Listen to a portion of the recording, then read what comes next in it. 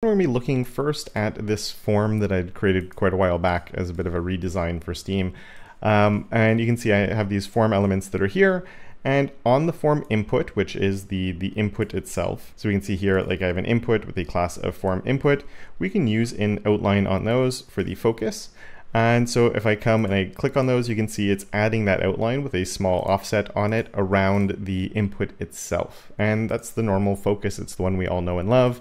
Uh, one thing people like to do is this uh, because they don't like the default focus states please never do that. Uh, or you need to replace it with something really obvious if you do. Um, the outline none is very bad for accessibility. People keyboard navigate, including if I'm on a forum, I like tabbing through forums and there's other times I will use it and there's people that rely much more on the keyboard than I do. So please always have some sort of focus state uh, that you're doing, but maybe this isn't the one that you want to have. And that's where some of these other ones do come into play. So let's take a look at the next one, which is focus within, which is an interesting one. So here on my entire form, where I have a class of form, I can actually look to see if anything inside of that form has focus on it. So here let's do a similar one, but we'll use lime green as my outline color. And now when I go on there, you'll see the entire form is actually being highlighted. Uh, nowadays we have a has selector, but in the old days we never had that. This is really like one of the children, or this isn't even a child, it's like several levels deep, has focus on it, so then this can actually get different styles on it. I am using an outline. You do want to be careful with any of these because say it was a border, um, that could actually cause a problem because it would actually cause the layout to shift. You can see everything moves a little bit. So outline is a safer one. You could change background colors. You could do other things. And you could get your entire form to be highlighted, which is kind of interesting though maybe you don't want to go to that type of step. Instead, what you might want is here you can see I have this div with a form group, and this is a really common pattern to have, and maybe you want that entire form group to have the outline on it instead of just, you know, the entire form, which doesn't help too much other than saying like this is the general area you're in. Uh, but instead of having it on the individual input instead, I could wrap the entire thing so it's including my label. And that could be another interesting way to be able to highlight what someone is working on.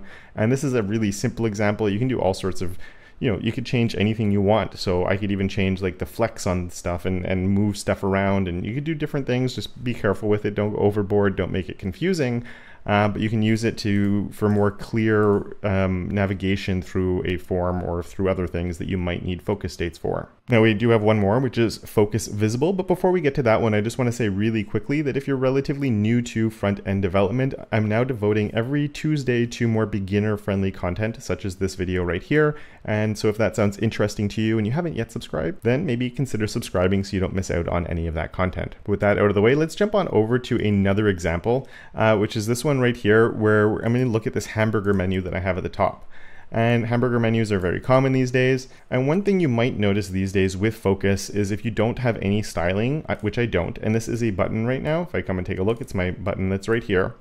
If I tab onto this, it is getting this focus ring on there. And if I use my keyboard, it's not getting it. In the old days, uh, focus would actually come on even if you clicked on a button, but these days the default for that doesn't happen anymore, which is interesting. And that's because they're not using focus as the pseudo class, they're using focus visible. So just to highlight this, even if I custom styled my outline on here, if I click on here, it's getting that yellow border on it. Or you can see that when I keyboard navigate, it is there. And this is why it's important to have keyboard navigation and to have focus states on things because you want to make it really clear when someone's you know tabbing through something where they are on the page. So I definitely want that to get highlighted or have some sort of focus state on it. But if somebody clicks on it with the mouse, I don't really want that to actually get this yellow box around it because it's kind of weird that, you know, now that I'm doing other stuff, that yellow box is still there. We know that I clicked on it because I physically did it. It's very different than when you're keyboard navigating because you want to know exactly what's selected. So when I push enter or space on my keyboard, I know what action is actually going to happen. So I'm going to put this over to a focus visible instead. And with it being focus visible, if I hit tab, you can see that it gets highlighted and then I can open and close it with my keyboard and I can go through and do other stuff. But when I click on it with my mouse, it does not get that focus state on it. And this is the browser making the decision on when it should be showing the focus state or not, but it's very smart about it. And the browser is doing it based on your input device. So whether it's a touch device, whether it's keyboard navigation, or whether you're using a mouse. Um, and just to show you that it depends on the type of element as well.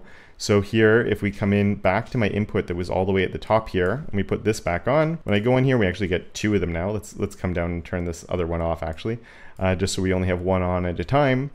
And so when I come on here, we're getting that uh, the focus state that's on there. If I change this to focus visible, and if I tab through, as you'd expect, I'm getting it. But if I use my mouse, I'm also getting it. And that's because if I'm in an input, I might click and then move my mouse away and start writing and doing something and it just makes sense for the default to just always be there.